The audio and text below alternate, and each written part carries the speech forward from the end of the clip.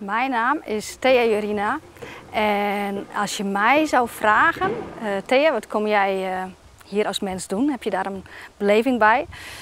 Dan is mijn antwoord op die vraag, is, um, dan voel ik echt het woord vreugde. En op zijn Engels ook joy, vind ik ook echt een mooi woord. Uh, vreugde en dan ga ik het zelf invullen. Ga ik vreugde brengen? Nee, dat is hem niet. Het is vreugde zijn. En dat dat mag. Dat ik uh, als persoonlijkheid dan, in dit geval, dat ik uh, vreugde mag zijn in mijn eigen leven, maar ook voor, voor andere mensen. En jou, anderen, ook mag inspireren om die vreugde in jezelf, om die aandacht te geven. Om in ieder geval te weten boven alles dat die vreugde in jou aanwezig is. Want mensen vragen mij heel vaak van wat kan ik doen om dat te krijgen? Wat kan ik doen om meer vertrouwen te krijgen? Wat kan ik doen om meer liefde uh, te krijgen of het gevoel van liefde te krijgen? En dan is meteen een eerste wat in mij opkomt van ja, dat ga je niet krijgen. Je, gaat het, je kan het niet kopen, je kan het niet ergens wegpakken. Dat is het hem, alsof het zo goed verstopt zit dat we uh, overal zitten te zoeken Behalve op de plek waar het echt zit, want het zit, het zit in ons. Het zit in de gevoelens van, van werkelijke liefde in mij, die zitten dus ook in mij. En van oneindig vertrouwen, die gevoelens zitten in mij. En dat is die, die essentie. En die essentie is niet zichtbaar. Maar je kan hem wel voelen. En dan wellicht komt, is daar iets in jouw systeem nog van ik zie het niet, dus het is er niet. Maar als je de weg van het voelen daarin op wil gaan en je stelt je ook nog eens open voor, nou ja, wellicht is dat ik het niet zie, uh, is dat alleen maar een soort van beperking van mijn ogen, maar is het er wel? Uh, alleen kan ik het misschien nu op dit moment even niet waarnemen. Ik neem het ook niet 24 uur per dag waar. Maar ik weet wel, ook als ik het niet waarneem, uh, dat het er is.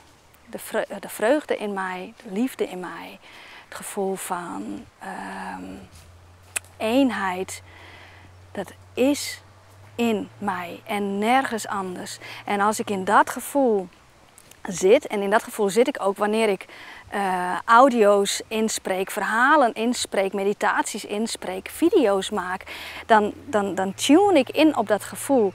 En uh, dat is een overvloedig gevoel waar zoveel mee te delen is.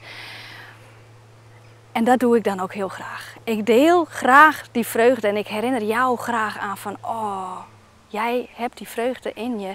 En als je zin hebt om dat meer stem te geven, om dat meer ruimte te geven in jezelf, um, geef jezelf die toestemming. Want uh, wellicht heb je net als uh, ik ook vaak heb gedaan, uh, zit je op toestemming te wachten volgens je brein echt volledig goedgekeurd van ja nee van die moet ik dat en van die zou ik dat moeten hebben en het lukt niet om dit en het lukt niet om dat. Dan hoor je ook wel aan mijn stem nu, die verandert meteen. Maar als je dan uh, zakt in jezelf en denk je, ah ja, ik heb echt van niemand, ik heb echt van niemand toestemming nodig. Echt van niemand, ja, van één iemand, van mezelf. Geef ik mezelf die toestemming? Geef ik mezelf de toestemming uh, om mezelf het beste te gunnen. In welke vorm dan ook. En uh, dan willen we vaak met het beste meteen al dingen invullen. Buiten ons. Daar heb ik het nu niet over. Eerst is het die intentie. Mag ik, mag jij jezelf het beste gunnen. En als je je daarvoor uh, voor open gaat stellen en ook jouw energieveld voor open stelt, ja, dan, dan komen er dingen op je pad of je kan gaan schrijven en dan weet je ook een aantal dingen waarbij je ook dat gevoel hebt gehad of nu hebt van als ik dat doe, dan voel ik, dan voel ik mezelf in mijn element. Dan uh, ja, voel ik die connectie, dan voel ik die verbinding, die een soort gesteundheid, onzichtbare steun. Een onzichtbare stroom waardering, een onzichtbare stroom uh, liefde. Ik, ja, ik geloof werkelijk dat wij niet dat dit niet het enige is uh, wat wij zijn. Dat er onzichtbaar nog een, uh, ik weet niet hoe groot het is, eigenlijk oneindig groot voor mijn brein dan, energieveld is wat er voor ons is. Werkelijk, het is er voor ons. Ook al kunnen wij het niet verklaren en ook al zitten we in een situatie waarbij dat nu helemaal niet zo lijkt.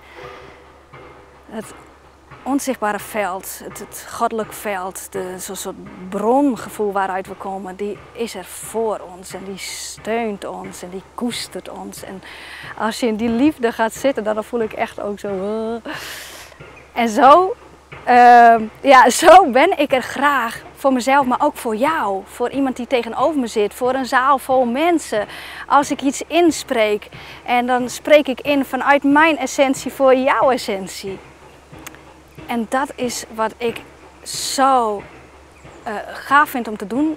En dan klinkt dat voor mezelf alweer, ja, dat is heel gaaf, maar het voelt ook zo als de bedoeling. Het voelt als een laag dieper van ja.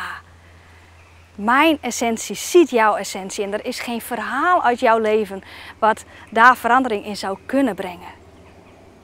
Tuurlijk kan het heftig zijn geweest, het kan intens zijn geweest, het kan nu nog heftig en intens zijn. En toch geloof ik in die kern van jou, in die essentie in jou, in de liefde in jou, in de waardering voor jou, in het vertrouwen in jou. Ik geloof daarin. Ja. Mijn essentie ziet jouw essentie. Oh, en dat is zo mooi. Dat is echt. Mm, alsof de mooiste stukjes in het universum elkaar zien. En meteen de kans krijgen om uh, te vermenigvuldigen. Keer tien, minstens. Ja.